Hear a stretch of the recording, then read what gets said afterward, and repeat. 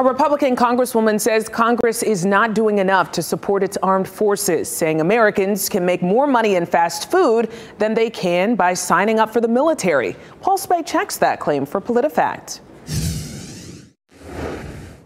Just how low is military pay these days? Well, New York Congresswoman Nicole Malliotakis recently told a radio station, you can work at some McDonald's restaurants in this country for more money than signing up for the military. And she said that's a disgrace. And this comes up in a year when President Biden authorized a review of military compensation, which is mandated by law every four years. So is Malliotakis right?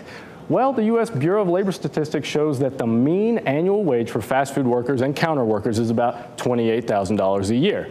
And the Congresswoman's office sent us a link to the U.S. Army website showing that pay for entry level privates starts at about $23,000 a year. Active military personnel also can't work overtime. That's something that fast food workers can do if they want to rack up extra pay.